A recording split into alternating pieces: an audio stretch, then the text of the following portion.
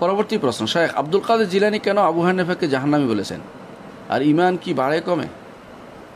আব্দুল কাদের জিলানি রহমতুল্লাহ আলাই আব্দুল কাদের জিলানি রহমতুল্লাহ আলাই তিনি একজন বড় ধরনের আল্লাহর অলি ছিলেন বলে এটা প্রসিদ্ধ হয়ে গেছে এবং আমরা মনে করি তিনি আল্লাহর অলি ছিলেন, নিঃসন্দেহে। সন্দেহ, নিঃসন্দেহে এই জন্য বললাম, তার ব্যাপারে যুগ যুগ ধরে আমরা ভালো কথা আলেমরা ভালো কথাই বলেছেন। কিন্তু আমরা কারও ব্যাপারেই সার্টিফিকেট দেয় না তিনি ভুলের উঠদেই একমাত্র মোহাম্মদ রসুল্লাহ সাল্লাহ ইসলাম বা নবীরা ব্যতীত প্রত্যেকেরই কথা নেওয়া যাবে এবং ছাড়া যাবে। আব্দুল কাদের জিলানি রহমতুল্লাহ আলাই সম্পর্কে ইমাম ইবনুল কাইম রহমত, ইমাম ইবনু তাইমি রহমতুল্লাহ আলী বলতেন সবসময় আল ইমাম, আল কোদোয়া আল আরেফ বিল্লাহ। ইমাম, অনুসরণযোগ্য ইমাম কোদোয়া ব্যক্তিত্ব যাকে অনুসরণ করা যায় এরকম। তারপর তিনি আর বিল্লা আল্লাহ সম্পর্কে জানে, এরকম তিনি তার সম্পর্কে সার্টিফাই করেছেন। নিঃসন্দেহে তিনি ভালো মানুষ ছিলেন, আমরা এটুকু বিশ্বাস করি। আমাদের অন্তরে সায় দেয় ব্যাপারে। তবে আমরা জান্নাতি বলার মতো ক্ষমতা তাদের কেউ যেন না বলি। কারণ কোনো মানুষ জান্নাতি জাহানি বলার জন্য সার্টিফিকেট লাগবে রসুল্লাহ সাল্লাহ আসলাম থেকে। এই জন্য যারা আজ আব্দুল কাদের জিলানি রহমতুল্লাহ আলের মনস্তুষ্টির জন্য বসে আছেন, তারা শিরিক করে যাচ্ছেন। আল্লাহর মনস্তুষ্টি করুন আল্লাহ তালার আল্লাহ তালার সন্তুষ্টি বিধান করুন। তা আল্লাহ তালা যেটা সন্তোষ সন্তোষ পায়, আল্লাহ যেটাতে সন্তুষ্টি হয়, সন্তুষ্টি, সন্তোষ হয়, আল্লাহ তালা সন্তুষ্টি যাতে হয় সেটা করুন। কিন্তু নিজের পক্ষ থেকে মানে নিজে কাউকে, ব্যক্তিকে ধরে নিয়ে তার সন্তুষ্টির জন্য চিন্তা করবেন না। আব্দুল কাদের জিলান রহমতুল্লাহ আলাই তিনি আল্লাহর অলি ছিলেন, আমরা মনে করি। আপনিও আল্লাহর অলি হন। আব্দুল কাদের জিলান রহমতুল্লাহ আমল করে আল্লাহর অলি হয়েছেন। কা, তিনি ওই ব্যক্তিকে ভালোবেসে না, কোনো নির্দিষ্ট ব্যক্তিকে নয়। যে আপনিও আমল করে, দিনের উপর আমল করে আল্লাহর অলি হতে পারবেন। এটা হলো মূল কথা। তো তিনি অনেক কথাই বলেছেন তার গ্রন্থের মধ্যে। আলগুনিয়া তুলে তো আলেবিল হক। আলগুনিয়া তুলে তো আলেবিল হক এটা হচ্ছে তার গ্রন্থের মূল নাম। সংক্ষেপে আলগুনিয়া বলা হয়। বাংলাদেশে অনুবাদ হয়েছে গুনিয়াতুত্ত আলেবির নামে। এই গ্রন্থটির ভাষণের অভাব নেই। এক একজনের বাংলা ভাষায় দেখবেন যে নিচে নিজের কথাও জুড়ে দিয়েছে তার কথার ভিতরে। বাংলা ভাষায় যে অনুবাদটা আছে, দেখলাম সেখানে তিন নম্বর খণ্ড পুরোটাই গুনিয়ত তালেবের নামে চালিয়ে দিয়েছে। ওইটা হচ্ছে ওনার এক শব্দ ওখানে নাই। ওইটা হচ্ছে ওনার কারামতি, ওনার ওইটা ওনার ওইটা নিয়ে আলোচনা। এগুলি হচ্ছে গুনিয়ত তালেবিন অথচ উনি এটা লেখেন নাই। উনি যেটা লিখেছেন, আরবিতে সেটা আছে। এবং সব জায়গাতে এটার মাকতুতও আছে মানে ম্যানুস্ক্রিপ্টও আছে। এবং তিনি সেটা দেখে বোঝা যায় যে তিনি আকিদের ক্ষেত্রে একদম পিওর মানুষ ছিলেন। আকিদের ক্ষেত্রে একদম পিওর মানুষ ছিলেন। সোনার মানুষ ছিলেন আকিদের ক্ষেত্রে। আল্লাহকে আরশের উপর উঠেছেন, আল্লাহ আরশের উপর রয়েছেন। ইনি বারবার তার কথায় সেখানে সাব্যস্ত করেছেন। দলিল নিয়ে এসেছেন অলুল্লাহ আল্লাহ খালকি। কোরআন দিয়ে, হাদিস দিয়ে তিনি বারবার দলিল নিয়ে আসছেন যে আল্লাহ তালা আরশের উপরে। এটাকে তিনি বারবার সাব্যস্ত করেছেন তার আল হুনিয়া কিতাবে। যেটা বর্তমান সময়ে সুফিরা তথাগত সুফিরা, মনে করেন আল্লাহ সব জায়গাতে আল্লাহ কলমের ভিতরে এটা ইমাম ইমাম আব্দুল কাদ জিলানি কখনো বলেন নাই। এটা হচ্ছে পরবর্তীদের ভ- আপনারা আপনারা তো তলবিল হক আরবিটা পড়বেন যারা জানেন। আপনি এটা সত্যতা পাবেন। আপনি যদি কোনো বলেন যে ওহাবিরা বদলাই ফেলছে, তাহলে আপনি মনে স্ক্রিপ্ট দেখতে পারেন, যেটা হাতের লেখা তার। সেটাও আছে। নেটে আপনি সেটা খুঁজলেও পাবেন। সেটা পড়ে দেখেন, কেউ কিছু বদলায় নেই আরবিটা ঠিকই আছে, বিভিন্ন ভাষায় গিয়ে সেটাও পরিবর্তিত হয়ে যায়। আপনি দেখবেন যে তার আকিদাগত পরিশুদ্ধি একেবারে আমরা বিশ্ব আমরা সার্টিফিকেট দিতে পারি যে আলহামদুলিল্লাহ তিনি সত্যিকার অর্থে একজন সহি আকিদার ধারক বাহক ছিলেন। এবং তার অনুসারীরা এই জন্য প্রথম প্রথম সহি আকিদাতে ছিল। পরবর্তীতে মানুষগুলো তাকেই আবাদত করা শুরু করে দিছে এখন তো, ইয়া আব্দুল কাদের লিল্লা শাই, ইয়া আব্দুল কাদের শাইয়ান লিল্লা আব্দুল কাদের আল্লাহর জন্য কিছু দেওয়া যায় মানুষ বলার অভাব নেই। নওয়াজবিল্লা আব্দুল কাদের কাছে চাচ্ছে, আব্দুল কাদের গোলাম হচ্ছে। কেউ কেউ নিজের নাম রাখছে গোলাম আব্দুল কাদের। আব্দুল কাদের গোলাম, আল্লাহর কালাম, আল্লাহর আল্লাহ দাস হয় না সে। আব্দুল কাদের দাস হয়েছে। নাওয়াজবিল্লা এ হচ্ছে শিরকের নমুনা, কিছু দেখেন। আব্দুল কাদের জিলানি ছেলেকে, মেয়ে, মেয়েকে ছেলে বানাইতে পারে, বিশ্বাস করে। আব্দুল কাদের জিলানি কারও রু ফেরা ফেরত দিতে পারে, বিশ্বাস করে। আব্দুল কাদের জিলানি তিনি তার মুরিদদেরকে জানাতে তিনি যেমন বিশ্বাস করে। এই জাতীয় বিশ্বাস যাদের আছে সবই তো কিন্তু কুফুরি আকিদায় সিরকি আকিদায় ভর্তি। এই জন্য এগুলি থেকে দূরে থাকতে হবে। আব্দুল কাদের জিলানি রহমতুল্লাহ আলাই তিনি কখনো এই জাতীয় জিনিস প্রচার করেন নাই। তার নামে একটা মিথ্যাচার কবিতা আছে মুরিদিলা তাহজান। আমার মুরিদ, তুমি প্যারেশান হয়েও না। আকাশের কত তারা তা আমি জানি। মাটির ভিতরে কত বালুর কণা সেটা আমি জানি। মাছ, পানিতে কত মাছ তা আমি জানি। এত বড় মিথ্যাচার তিনি করেন নাই। মিথ্যা কথা তিনি বলেন এগুলি মুরিদরা বানাইতে অনেক বাড়াইয়ে বাড়াই ওনাকে এই কবিতা বানিয়ে নিয়েছে।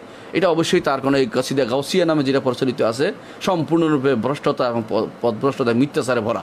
এই জন্য এই জাতীয় কবিতা তা তিনি বলেন নাই এগুলি পরবর্তীতে তার নামে চালিয়ে দিয়েছে। এ থেকে আমাদের বুঝতে হবে যে অনেক সময় ভালো মানুষের জন্য পরবর্তীরা বিপদ হয়ে দাঁড়ায়। অনেক ভালো মানুষের জন্য মানুষ তাদের জন্য মিথ্যাচার বসে বসে বানায়, কারামত বানায় তাদের জন্য। এই জন্য আব্দুল কাদের জিলানি রহমতুল্লাহ আলাই আমরা তাকে ভালোই জানি। তিনি আবু হানিফা রহমতুল্লাহ আলাই জাহানামি বলেছেন, কথা ঠিক নয়। এটা বলেন নাই। তিনি বলেছেন, মুরজিয়াদের মধ্যে একটি গোষ্ঠী আছে। তারা অনুসরণ করে নোমান ইবনে নোমান ইবনে নোমান ইবনে সাহাবেদ নামে এক ব্যক্তির। মুরজিয়াদের যে গোষ্ঠী, অর্থাৎ তাদেরকে তিয়াত্তর ফেরকার মধ্যে তিনি অন্তর্ভুক্ত করেছেন। মুরজিয়া, তাদের অনুসারীদের মধ্যে আবু হানিফ রহমতুল্লাহ নাম তিনি উল্লেখ করেছেন, এই হিসাবে যে নোমান ইবনে সাহাবেদ অনুসরণ করে। এই কথাটা তার গুনিয়ত তালেবিন গুনিয়া কিতাবের মধ্যে আছে। এটা আলমরা বিভিন্ন রকম ব্যাখ্যা দিয়েছেন, বিভিন্ন রকম ব্যাখ্যা দিয়েছেন। আমরা শুধু এটাই বলব, তিনি ইস্তেহাদ করে বলেছেন, ঠিক বলেন নাই, এটাই বলব। আবু হানিফ রহমতুল্লাহ আলীর ব্যাপারে তার এই বক্তব্য, ঠিক না, কারণ আবু হানিফ রহমতুল্লাহ আলী তিনি তথাকথিত মুরজিয়াদের অন্তর্ভুক্ত ছিলেন না ছিলেন না, যারা পদভ্রষ্ট তার মধ্যে যে এর যা ছিল সেটা আলেমরা বলেছেন যে এটা এমন জিনিস, এটা সেটা শুধুমাত্র বুঝার পার্থক্য।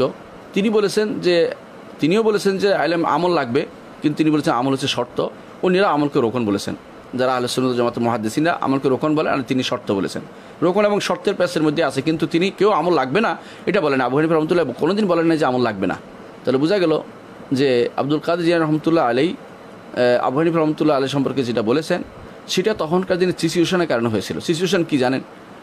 দুর্ভাগ্যবশত আবু হানিফ রহমতুল্লাহ অনুসারীদের মধ্যে বেশিরভাগই দেখা গেছে ময়তাজিলা হয় মুরজিয়া, নয় মোতাজিলা, নয় জাহমিয়া। এরকম অনুসারী তার কিছু যুগ যুগিয়েছিল পরবর্তীরা তার অনুসারী হিসেবে সেজেছিল।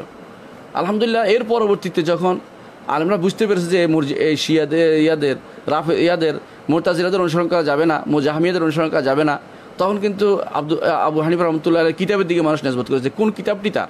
তখন এই ফেকুল আকবর সহ, ওসিয়া সহ এগুলো তারা দেখে দেখে বুঝছে যে না, যারা তার দিকে সম্পর্কযুক্ত করে তার বেশিরভাগই হচ্ছে পথভ্রষ্ট এদের কারণে পরবর্তীরা আবু হানিফ রহমতুল্লাহ সম্পর্কে খারাপ ধারণা নিয়ে অনেক কিছু লিখেছে। এটাই হচ্ছে কারণ।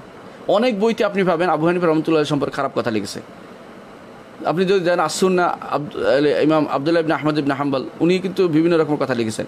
এমনকি আপনি যদি দেখেন, দেখবেন ইমাম তারিখুল তারিখ বাগদাদের মধ্যে তারিখুল বাগদাদের লেখক, যাকে বলা হয় খতিব খতিবুল বাগদাদি, তিনিও হানিফ রহমতুল্লাহ সম্পর্কে অনেক কিছু লিখেছেন। এমনকি ইমাম ইবনে আবি সাহেবা তিনি আবু হানিফের বিরুদ্ধে লিখেছেন রহমাউল্লাহর বিরুদ্ধে লিখেছেন। এগুলির কারণ হচ্ছে, মানুষ সাধারণত যাচাই করে তার ছাত্রদের দিয়ে। তাকে যদি না পায়, তার ছাত্ররা কীরকম দেখে? ছাত্ররা এরকম। তখন তিনি মনে করে ছাত্ররা বোধ ওস্তাদ থেকে এরকমই শিখছে। তো এর বেশিরভাগ দেখা ইবনে আবি দুয়াদ শুরু করে, যারা মোতাজিলি ছিল, বেশিরভাগ আবু হানিফার রহমতুল্লাহ মাঝাবের দিকে নিজেদেরকে সম্পৃক্ত করতো। যারা জাহামি ছিল, আল্লাহকে সব জায়গায় সব জায়গায় মনে করতো আল্লাহ সিফাত অস্বীকার করতো, বেশিরভাগ আবু হানিফা রহমতুল্লাহ আলের মাঝাবের দিকে নিজে সম্পৃক্ত করতো। এই জন্য যেহেতু ছাত্রের দোষটা বেশি ছিল এই জন্য অনেক সময় মনে করছে যে ওস্তাদ কাছ থেকে বোধহয় তারা শিখেছে। এই জন্য এরা এই আবু হানিফ রহমতুল্লাহের দিকে এগুলি নেসবত মনে করে তো আবু হানিফ রহমতুল্লাহ সম্পর্কে খারাপ ধারণা করেছেন। মূলত আবু হানিফ রহমতুল্লাহ আলী তাদের এই সমস্ত জিনিস থেকে সম্পূর্ণরূপে মুক্ত। তিনি কখনও এই জাতীয় আকিদা, বিশ এই রাফিজ, এয়াদের আকিদা মোতাজালাদের আকিদা বা জাহামিয়াদের আকিদা বা মুরজিয়াদের তথাগত আকিদা তিনি পোষণ করতেন না। তিনি আহলসুল জামাতের ইমাম ছিলেন। ইমাম আবু দাউদ বলছেন, রাহেমাল্লাহ, আবু হানিফা খান ইমামান। আবু হানিফার উপর আল্লাহ রহমত তিনি ইমাম ছিলেন। আবু দাউদ যেখানে বলেছে, সেখানে আলহামদুলিল্লাহ একজন ইমাম, বড় ইমামের একজন আমাদের সার্টিফিকেট পেলাম যে তিনি ইমাম। এবং তার সম্পর্কে ইমাম সাইদ ইয়াহিবনে সাইদ আল কাত্তান বলেছেন যে, আমরা মিথ্যা বলব না, আবু হানিফার অনেক কথাই আমরা গ্রহণ করি। এবং ইয়াহিবনে মাইনসহ অনেকেই তার সম্পর্কে ভালো মন্তব্য করেছেন। আমরা বলছি না তার হাদিসি দৃষ্টিকোণ থেকে বলছি না এখানে, বা আকিদা দৃষ্টিকোণ থেকে বলছি না, কিন্তু আমরা এটাই বলব আব্দুল কাদের জিলা রহমতুল্লাহ আলী তখনকার সময় প্রভাকাণ্ডা দিয়ে হতো। কারণ যে কোনো জায়গাতে ছাত্রদের দৌরাত্ম থাকে অনেক সময়। যেহেতু হানাফিদের দৌরাত্ম বেশি ছিল তখন সে সময় বেশিরভাগই ছিল আকিদা বিভ্রান্ত মোতাজিলা আকিদা ছিল কেউ জাহামি আকিদা ছিল কেউ, এই জাতীয় বি- মর্জিয়া আকিদা ছিল কেউ। তো সেই জন্য তিনি বলেছেন যে একজন নাম নোমার বিন নাম বলা হয়। তার অনুসারীরা মুরজিয়া, এটা তিনি বলেছেন, এবং তাদেরকে বাহাত্তর ফেরকার মধ্যে অন্তর্ভুক্ত করেছেন। এটা তখনকার প্রভাকাণ্ডার কারণেই তিনি করেছেন। মূলত তিনি যদি তার সঠিক আকিদার বইগুলি দেখতেন, অর্থাৎ যেগুলো সম্পর্কে পরবর্তীতে আমরা আবু হানিফ রহমতুল্লাহ অনুসারে জেনেছে, আমরা জেনেছি যে যেমন তার ফেকুল আকবর সহ গ্রন্থগুলো তাহলে আমরা বুঝতাম যে এগুলো আবু হানিফ রহমতুল্লাহ কখনও মুরজিয়াও ছিলেন না মোরতাজিলাও ছিলেন না, তিনি জাহামিও ছিলেন না। বা তাকে যে তার সম্পর্কে যে সমস্ত নেসবত করা সবগুলি বেশিরভাগই শুদ্ধ না, বরং তিনি একজন ইমাম ছিলেন। ইমাম মিন আইমাতুল মুসলিমিন, এতে কোনো সন্দেহ নেই। সুতরাং আব্দুল কাদের রহমত জিলানি রহমতুল্লাহ যেটা বলেছেন, এটা ছিল একটা প্রভাকাণ্ডার অংশ হিসেবে। অনেক সময় দূর দূরান্ত থাকার কারণে, দূর দূরান্ত না হোক দেরিতে হওয়ার কারণে। কারণ আবু হানিফ রহমতুল্লাহ আলাই এবং ইমাম আব্দুল কাদের জিলানির মধ্যে চারশো বছরের পার্থক্য প্রায়। প্রায় চারশো। তো এত বছরের পার্থক্যের কারণে তার সঠিক তথ্যটি তখনকার সময়ে যারা অন্যায় করতো, তাদের দ্বারাই দিকে নেসবত হতো আজও দেখেন একটি সহজ কথা। মুসলিমদের বিভিন্ন কর্মকাণ্ডের কারণে মুসলিমদের বিরুদ্ধে আর সারা দুনিয়ার মানুষ মুসলিমদের খারাপ দৃষ্টি দেখে তাদের বিরুদ্ধে যে প্রভাকাণ্ড চলছে, মুসলিমরা কি আসলে এরকম ছিল, এরকম নাকি? আমাদের কর্মকাণ্ড এখন যদি কেউ আমাদের অবস্থা দেখে ইসলাম বিচার করে তোলে তো ইসলামকে তারা নম্বরে দিবে না। আমাদের অবস্থা খারাপ দেখি, কিন্তু ইসলাম তো এরকম না। তো আমরা এটাই বলব ইমাম আব্দুল কাজ জিলান রহমতুল্লাহ আলাই তিনি তিনি একজন ইমাম ছিলেন, আবু হানিফ রহমতুল্লাহ তিনিও একজন ইমাম ছিলেন। তো তিনি যতটুকু তিনি শুনেছেন তখনকার সময় বা তার অনুসারীদের অবস্থা দেখেছেন, তারা যতটুকু কোরআনে মুসুন্না থেকে দূরে সরে গেছে এটা দেখে তখন তিনি হয়তো এই কথাটি বলেছেন। কিন্তু এটা আসলে সঠিক কথা নয়। তিনি কখনো এভাবে কোনো ইমামদেরকে এভাবে তিনি জাহানামি তো বলেনই নেই, তিনি কখনো মানে এই যে ফেরকার অন্তর্ভুক্ত করা ঠিক হবে না। কোনো এই মাঝহের কারণে ফেরকার অন্তর্ভুক্ত করা ঠিক হবে না। এটা আমাদের মনে রাখতে হবে। যেমন হানাফি, মালিকি সাফি হাম্বলি এগুলি হচ্ছে নেসবা, এগুলি হচ্ছে তাদের ফেকার একটি দৃষ্টিকোণ, ফেকার মানহাজ। ফেকার মানহাজের কারণে, সেগুলির কারণে আপনি তাদের কাউকে জাহান্নামি, জান্নাতি বা তাদেরকে কারণে পদভ্রষ্ট কোনটাই বলতে পারেন না। কারণ এটা তো ফেকার মাসালা ইস্তেহাদের জায়গা, সেখানে অবারিত, উন্মুক্ত। ইস্তেহাদ করতেই পারে একজন মানুষ। এবার ইস্তেহাদ করার জায়গা ছেড়ে দেওয়া হয়েছে ইস্তেহাদের কারণে সবের ব্যবস্থা করা হয়েছে। এর অর্থ হচ্ছে এখানে কোনো সমস্যা নেই। সমস্যা হচ্ছে ওই জায়গায়।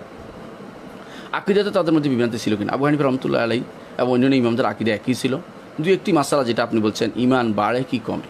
এই মাসালাতে ইমাম আবু রহমতুল্লাহ আলাই যে মত কথাটা নিয়েছেন, এটা একটা আসলে তার প্রথম জীবনে আলমুল কালামের চর্চা থাকার কারণে তিনি এমন একটা কথা বলেছেন যেটা বুঝার ক্ষেত্রে অনেকের মত পার্থক্য হয়েছে। তিনি যে জিনিসটা বুঝাতে চেয়েছেন যে ইমান বাড়ে না কারণ বেহাইসুল মুমান বিহি, অর্থাৎ যেগুলোর উপর, যদিও এটা ঠিক নয়, কিন্তু তারপরে আমরা বলব যে এইটার অর্থ একটা বিশুদ্ধ অর্থ করা যায় সেটা, যে যে জিনিস আল্লাহ তার রসুল থেকে আসছে ইমানের রোকন হিসেবে, এটা আর বাড়বে না, ইমামের রোকন ছয়টিই থাকবে। সেটা বলা উদ্দেশ্য। এখানে ইমাম রোকন বানিয়ে আরেকটা জিনিস কেউ যেন কারও আনুগত্য করার ইমান রোকন বানিয়ে না ফেলে। দেখা যায় বর্তমানে কারও একরাম করাকে ইমান ইমান রোকন বানিয়ে ফেলছে। কেউ কেউ আমির আনুগত্য করাকে ইমান রোকন বানিয়ে ফেলছে। কেউ কেউ জেহাদকে ইমান রোকন বানিয়ে ফেলছে। মানে ইমান রোকন যেন বাড়িয়ে না দেয়, এটা ছিল তার উদ্দেশ্য। যেন তিনি বলতেন যে বলতেন যে ইমান বাড়ে না, কমে না, সেভাবে বলতেন। এটা এটা এই এত দূর যাওয়ার আমাদের দরকার ছিল না। কোরআন মুসলিমের সরাসরি বলছে ইমান বাড়ে, কমে। এটা বলার দরকার আমাদের। তো ওখানে যিনি তিনি বলেছেন, সেটা ছিল একটা বিশেষ, হয়তো কোনো বিশেষ উদ্দেশ্য নিয়ে সেটা বলেছেন। সেটাকে তারা আম কায়দা বানিয়ে ফেলেছে, এটা ঠিক নয়। বরং আমরা দেখেছি ইমাম ইবনে আবিল ইজ আল হানাফি রাহমাউল্লাহ তিনি তার শাহ আকিদ তহাবির মধ্যে নিয়ে এসেছেন যে একবার তার ইমা ইবনা, ইমাম আবু হানিফ রহমতুল্লাহর কাছে ইমাম, একজন ইমাম আরমাস উলামির মেহরান এসে তখন যখন জানালেন যে আল্লাহর কোরআন এটা বলে, রাসুল এটা বলে, আপনি কেন ইমান বাড়ায় না, কমে না বলেন? তখন তিনি কোনো জবাব দেন নাই।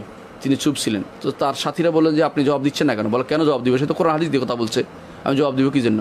অর্থাৎ জবাব দেন নাই।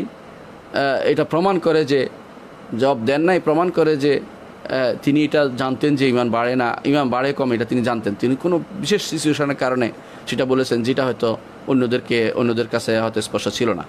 তো কেউ কেউ বলেছেন, তিনি ইমান বাড়ে না কমে না হিসেবে বলেছেন, তার কাছে ইমান ছিল বাসিত অন্যদের কাছে মোরাক্কাব। এই বাসিত আর মোরাক্কাব, এই জিনিসটা বুঝাতে গেলে আপনাদেরকে সারাদিন লেগে যাবে। বাসিত হচ্ছে এমন একটা জিনিস যেটা এমন এমন জিনিস যেটা কোনোটার সাথে কোনো কিছু যুক্ত হয় না। আসলে কি পৃথিবীতে এমন কোনো জিনিস আছে যার সাথে কোনো যুক্ত হয় না? এটা হচ্ছে ধরে নেওয়া জিনিস। এটা হচ্ছে কালাম শাস্ত্রবিদের ধরে নেওয়া জিনিস। পৃথিবীতে এমন কোনো, পৃথিবীতে কোথাও কিছু নেই, এমন কিছু জিনিস নেই যেটা সাথে কোনো কিছু যুক্ত হয় না।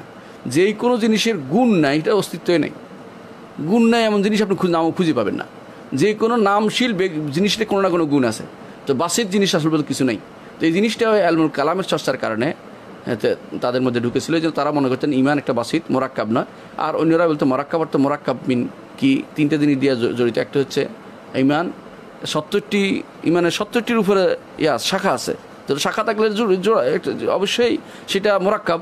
আর ইমানের তিনটি মৌলিক অংশ আছে, একটা হচ্ছে অন্তর দিয়ে স্বীকৃতি দেওয়া মুখে অন্তরে স্বীকৃতি স্বীকার করা, মুখে স্বীকার করা এবং কর্মকাণ্ডে স্বীকৃতি প্রদান করা।